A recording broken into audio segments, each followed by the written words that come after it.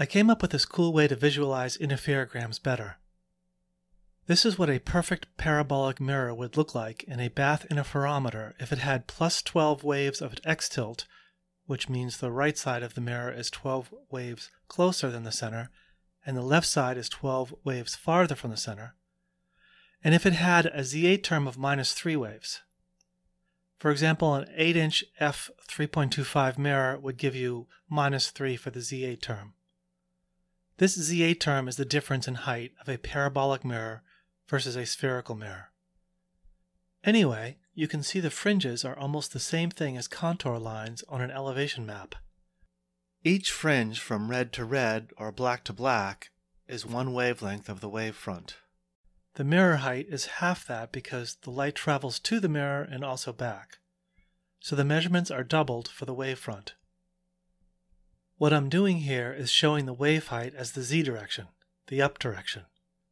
The height is, of course, magnified a lot, so you can see the height of each wavelength of light. This also makes it so you can see the mirror surface shape. When we look at the wavefront from the side here, you see that each fringe is an evenly spaced altitude, just like elevation maps. The next time you see an I-gram in DFT fringe, look at the x and y tilt. Positive x tilt means the right side is closer, negative means the left side is closer.